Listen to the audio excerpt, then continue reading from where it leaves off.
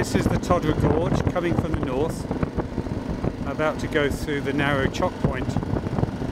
This, um, for anybody who's seen The Man Who Would Be King with Sean Connery and Michael Caine, this looks quite similar to the Khyber Pass that uh, was in the film, and that's because it was shot here.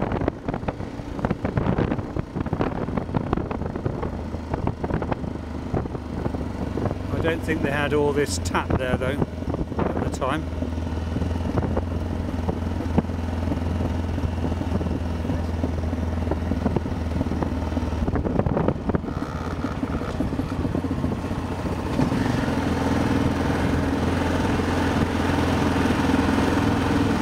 And this is the Yasmina and La Roche hotels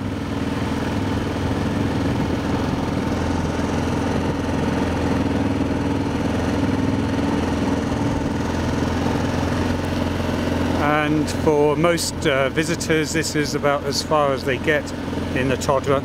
They don't go any higher up, which is a great shame.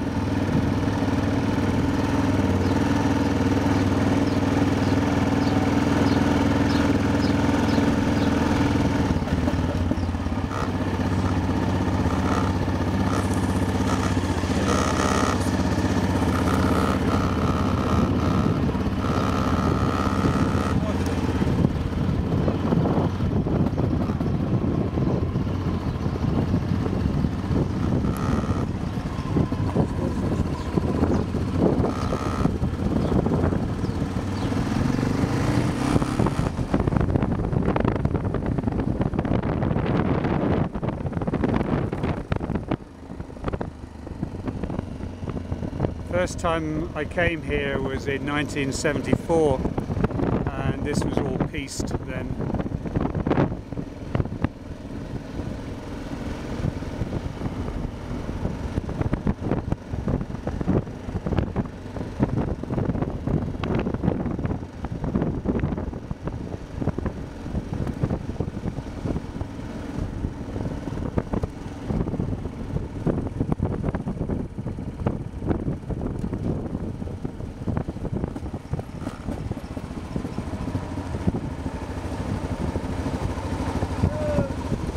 And this is the new bridge.